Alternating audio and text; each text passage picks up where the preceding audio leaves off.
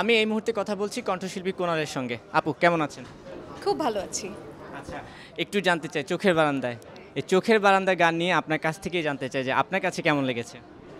চোখের বারান্দায় গানটি লিখেছেন রবিউল ইসলাম জীবন সুর করেছেন সংগীত করেছেন মার্সেল আর গেয়েছি আমি আর সাদি।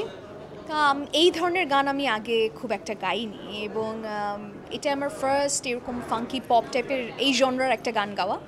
My experience was really good সাদি ওয়ান্ডারফুল একজন আর্টিস্ট ওর সঙ্গে যেমন কাজ করছি, আমার কাছে মনে হয় যে আমার অডিয়েন্স আর সাদের অডিয়েন্স ডিফারেন্ট সো এই দুই অডিয়েন্স কিংবা এই দুইটা ওয়ার্ল্ড আমরা একসঙ্গে মিক্স করতে পেরেছি কোলাবোরেট করতে পেরেছি, এটা আমার কাছে খুবই আনন্দের.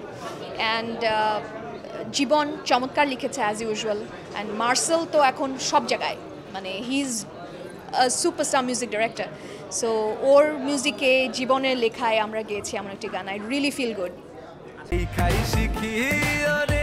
খুঁজি দেখি শিখি। গ্রামীণ ফোন ফোর জিতে এখনই গ্রামীণ ফোন একটু জানতে চাই সাদি কিন্তু একদমই তরুণ উদীয়মান একজন সংগীত শিল্পী। আপনি কিন্তু সে তুলনায় একটু সিনিয়র হয়ে গেছেন। তো যখন সাদির সঙ্গে গান হবে তখন একটু কেমন লাগছিল? অ্যাডজাস্ট হচ্ছে কি হবে না? একটু টেনশন কাজ করছিল নাকি?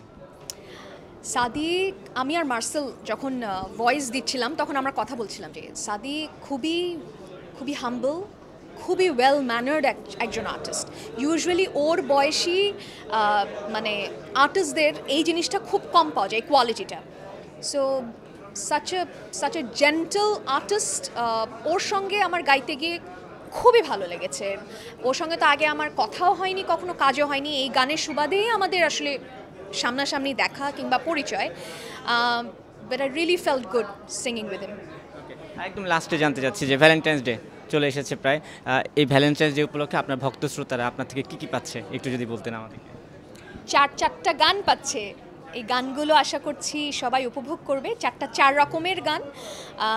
এবং যে কারণে আমি চার রকমের এই গানগুলো গেয়েছি কারণ আমি শুধু এক ধরনের শ্রোতাকে চাইনি উপহার দিতে, আমি সব ধরনের শ্রোতার টেস্টকে মিট করার চেষ্টা করেছি। সো যেই চারটি গান আছে, আমি আশা করছি কোনো না কোনো জনরার শ্রোতারা পছন্দ করবেই।